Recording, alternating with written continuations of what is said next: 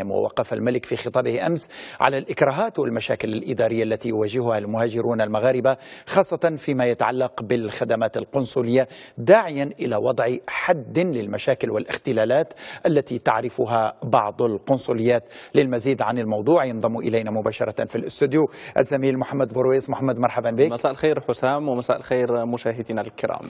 يعني محمد ما هو شكل التقصير الحاصل على مستوى القنصليات كما رصده الخطاب الملكي أمس؟ بالفعل هناك العديد من المثالب في العمل القنصلي. رصدها الخطاب الملكي بكثير من الصراحة.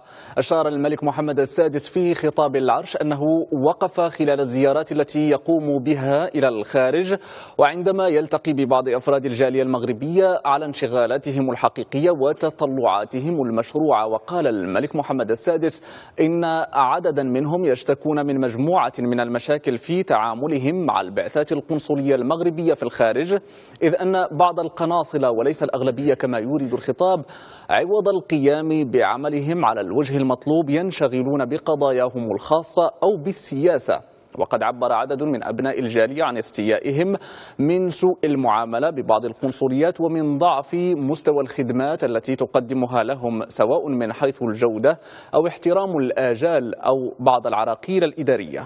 محمد وفي هذا السياق شدد الملك محمد السادس على ضرورة يعني إنهاء مهام كل من يقصر أو يستخف بمصالح أفراد الجالية أو حتى يسيء معاملتهم. بالفعل وإيجاد حلول فورية. في خطاب العرش وجه الملك محمد السادس وزير الشؤون الخارجية والتعاون إلى ضرورة العمل بكل حزم لوضع حد للاختلالات والمشاكل التي تعرفها بعض القنصليات. فمن جهة قال الملك محمد السادس إنه يجب إنهاء مهام كل من يثبت في حقه التقصير أو الاستخفاف بمصالح أفراد الجالية أو سوء معاملتهم. ومن جهة أخرى يجب الحرص على اختيار القناصلة الذين تتوفر فيهم شروط الكفاءة والمسؤولية والالتزام بخدمة أفراد الجالية.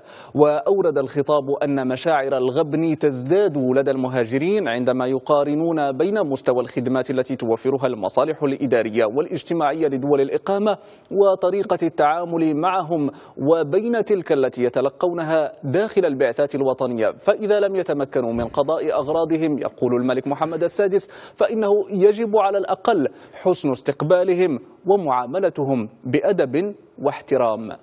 إذا محمد الأمر يتعلق هنا بالحالات التي لها علاقة بالتقصير وسوء المعاملة وكذلك البطء وتعقيد المساطر الإدارية من نعم. المشاكل التي يواجهها المغاربة المقيمون في الخارج وفق ما جاء في الخطاب الملكي ما يتعلق بالبطء في تسجيل الأسماء في الحالة المدنية وفي تصحيح الأخطاء مع ما يقتضيه الأمر من وقت وتكاليف مالية.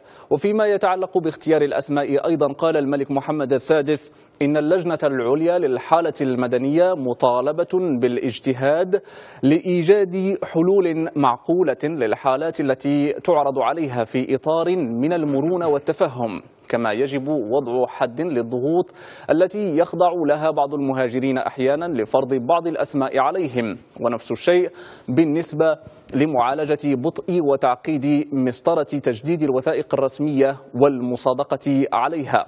وللمزيد عن هذا الموضوع ينضم إلينا مباشرة عبر الهاتف من مدريد سعيد إدى حسن الصحفي المغربي المقيم في إسبانيا رئيس مؤسسة الثقافة العربية في إسبانيا.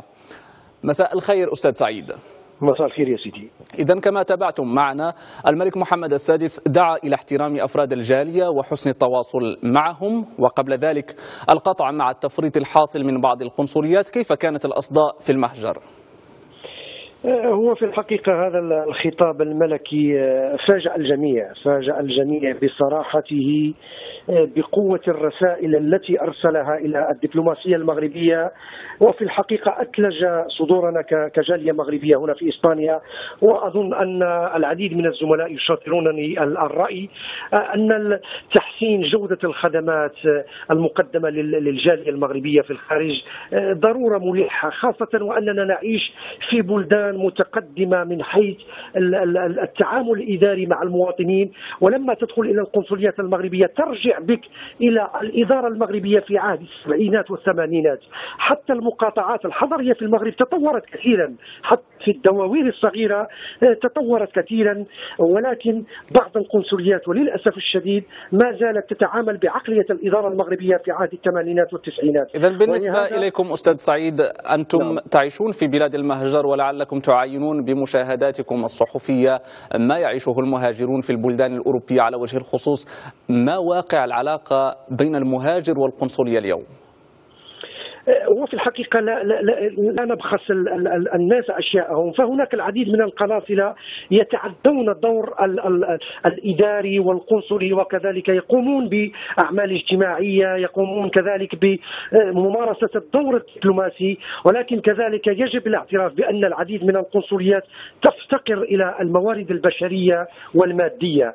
ولكن صرامة الخطاب الملكي والرسائل الواضحة التي أرسلها في الحقيقة ستساهم ونحن على يقين بشكل كبير في تطوير أداء القنصليات والدبلوماسية المغربية بشكل كبير، فهذا الخطاب في قوته وفي مضمونه يوازي في رأيي الشخصي قوة خطاب آه، نوفمبر 2005 عندما أعلن الملك محمد السادس عن ضرورة تمكين المهاجرين المغاربة من التمثيلية البرلمانية. السيد سعيد إذا حسن شكرا جزيلا لك على كل هذه التوضيحات. أنتم صحفي مغربي مقيم في إسبانيا ورئيس مؤسسة الثقافة العربية في إسبانيا. وإذا محمد يعني للخروج من هذا الوضع الخطاب الملكي حدد المعايير التي ينبغي الالتزام بها عند التعامل مع المهاجرين المغاربة في الخارج ليس كذلك؟ بالفعل تضمن الخطاب الملكي العديد من المداخل للقطع مع هذا الوضع. نعم. شدد الملك محمد السادس على أهمية تحسين التواصل والتعامل مع أفراد الجالية بالخارج وتقريب الخدمات منهم وتبسيط وتحديث المساطر واحترام كرامتهم وصيانة حقوقهم. أما فيما يخص المشاكل التي يعيشها بعض المهاجرين عند عودتهم لأرض الوطن فقد أكد الملك على ضرورة التعامل بكل حزم وصرامة مع كل من يحاول التلاعب بمصالحهم أو استغلال ظروفهم. شكرا جزيلا لك زميلي محمد بورويس على كل هذه الإضاءات حول هذا المحور. نراك إن شاء الله في مواعيدنا الأخبارية المقبلة. شكرا لك حسن شكرا جزيلا.